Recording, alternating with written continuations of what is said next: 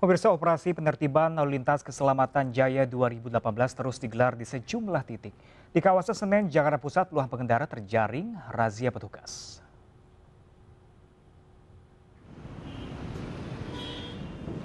Hari ketiga penertiban sejumlah pengendara kembali terjaring razia petugas.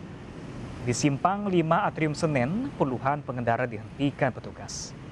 Beberapa di antaranya melakukan pelanggaran karena tidak menggunakan helm dan melanggar rambu lalu lintas. Namun mayoritas pelanggar tidak ditilang, hanya diberikan teguran dan peringatan dari petugas. Operasi ini pun akan terus dilakukan hingga tanggal 25 Maret 2018. Diharapkan operasi ini bisa menertibkan para pengendara agar selalu mematuhi peraturan lalu lintas untuk keselamatan diri sendiri dan juga orang lain.